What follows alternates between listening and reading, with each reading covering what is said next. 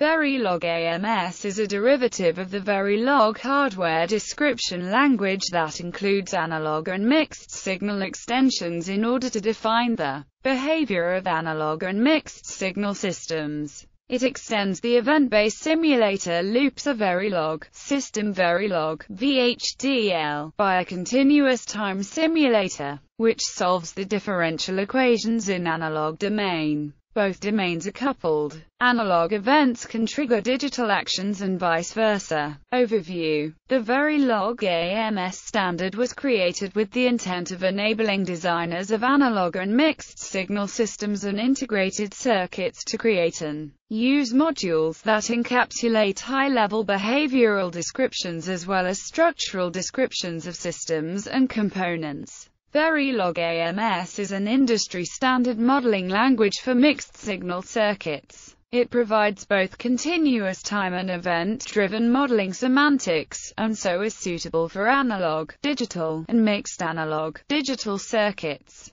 It is particularly well suited for verification of very complex analog, mixed signal and RF integrated circuits. Verilog and Verilog AMS are not procedural programming languages, but event-based hardware description languages. As such, they provide sophisticated and powerful language features for definition and synchronization of parallel actions and events. On the other hand, many actions defined in HDL program statements can run in parallel. However, Verilog AMS can be coupled with procedural languages like the ANSI C language using the Verilog procedural interface of the simulator which eases test suite implementation, and allows interaction with legacy code or test bench equipment. The original intention of the Verilog AMS committee was a single language for both analog and digital design. However due to delays in the merger process, it remains at Accellera while Verilog evolved into System Verilog and went to the IEEE.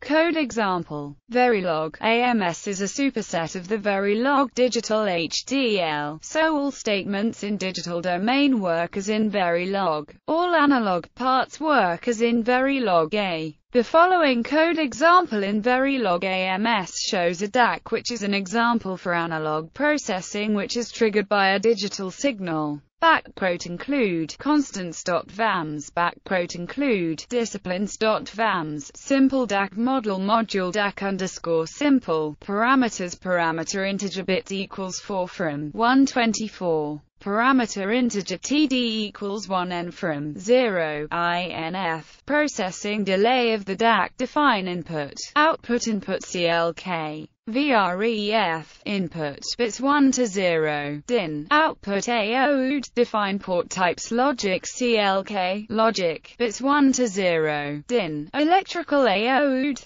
VREF, internal variables real AOD underscore new. Ref, integer i, change signal in the analog part, analog begin at v less than plus 0, set output to 0 when the simulation starts at begin, change output, only for rising clock edge AOUT underscore new equals 0, ref equals v, for begin ref equals ref, 2, AOUT underscore new equals AOUT underscore new plus ref asterisk din, i, end end. V less than plus transition, getter. Smoother transition when output level changes end-end module The ADC model is reading analog signals in the digital blocks